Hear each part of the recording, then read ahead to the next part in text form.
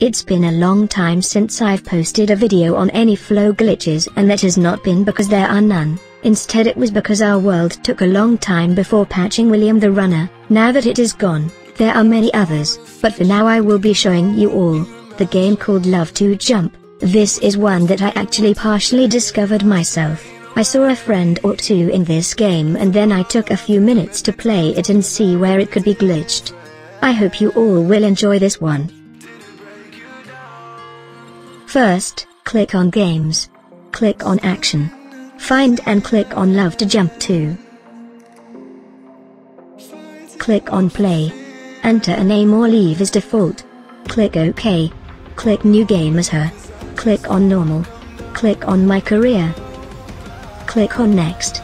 Click on Next hold the right arrow key immediately and click off of the game and into the chat box.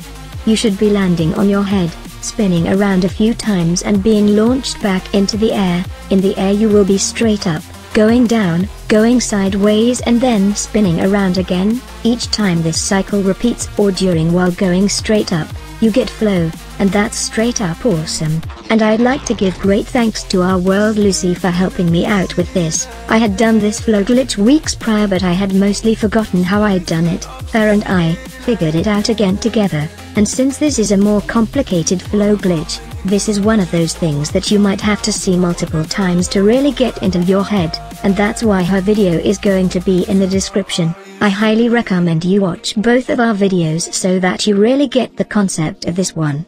And feel free to message me and game with any questions you may have or just leave a comment, it's up to you. Please comment, like and subscribe for more.